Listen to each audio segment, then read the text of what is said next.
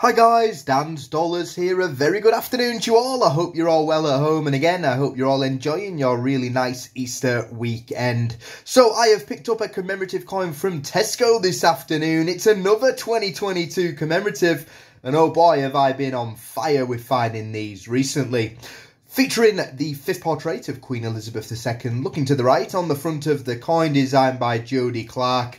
What commemorative design is on the back? Let's take a look then it is another Pride 50 pence coin. We've got some lettering on the outer there, including equality, unity, and visibility. A really nice coin design, this one. And again, 5 million of this coin released for circulation. A huge shout out if you have been lucky enough to find it. Maybe you've found a different commemorative over the course of the Easter weekend. If that is the case, please do let me know in the comments section below. And together, let's keep that dream alive that there's still some rare coins out there in the wild. The results of Guest Dan's coins are coming up straight after this video.